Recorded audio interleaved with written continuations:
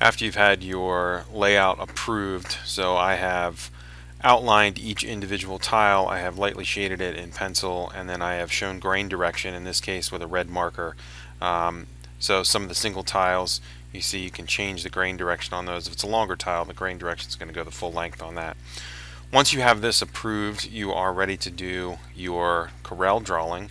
So you're going to go into Unit 3 um, on Schoology and you will find Layout and Design Activity.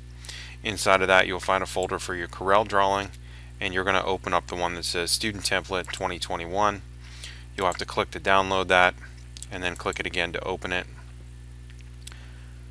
You're most likely going to get a window that asks you to sign in. You can simply skip that. If you get any warnings here about text or anything like that, just hit OK on that.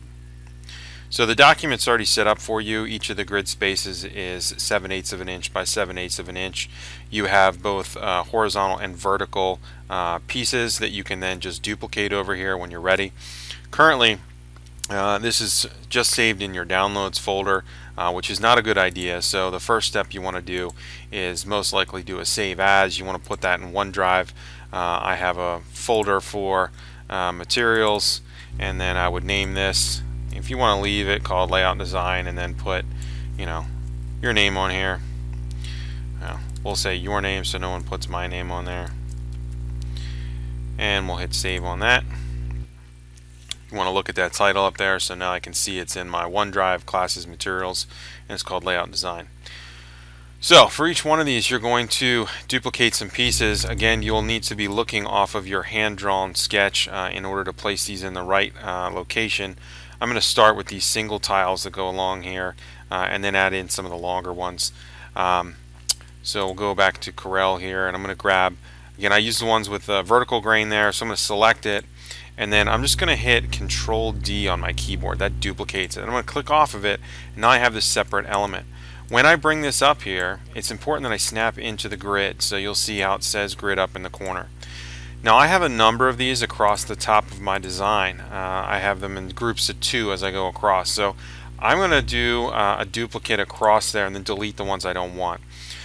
When you have nothing selected, so if you're in the selection tool, click out here in space, this is your default duplication distance. Right now the X is 0, the Y is uh, negative 0.875. So if I duplicate this one, it moves it down in the Y 0.875 and it moves it nothing in the in the X location. I'm going to change that. I want to move over to this tile and I could simply duplicate it and just drag it into place. If that's how you want to do this, that's perfectly fine. Um, but I'm going to show you a little bit faster way to work here.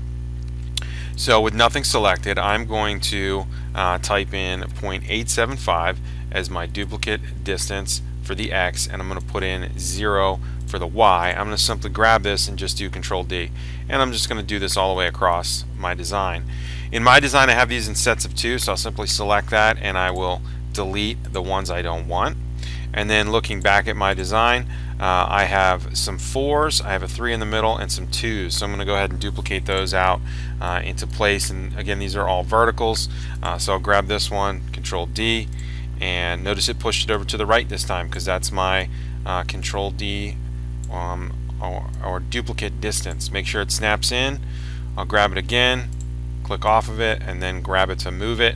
Remember when I'm moving it I'm in the selection tool. Now I'll grab a 3 control D click off of it and then move it up there make sure it snaps in and says grid when it snaps in. Sometimes you need to zoom in a little bit closer to make that happen. Uh, and then I also have a 4 so control D on that click off of it and then drag it up to place it there. So it's locked in on the grid control D again click off drag this one to the other side make sure that locks in on grid sometimes that can be a little finicky so they all look pretty good uh, what I'm going to do at this point is I'm going to select this group because on my design uh, I have the identical pieces on the bottom just mirrored over uh, so you may have this situation left to right, top to bottom that you can make that a little bit faster. Uh, I'm going to go to object and I am going to group these. So I'll group that together. I'm going to duplicate this whole object. So I'm going to do control D now and now I have this whole set of objects. and I can simply mirror that. So if you look up here I can mirror that vertically and then I can drag and drop this down in place. So I'll get a little bit closer and make sure we snap into grid uh, when we get there. So I may have to grab that from a corner get that to drop right in place. Um, and then I just have a few more uh, to place in.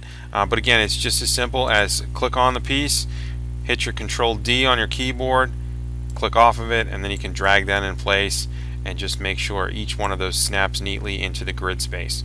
When you're all finished here, you want to save it. There is a second video that will take you through printing your design.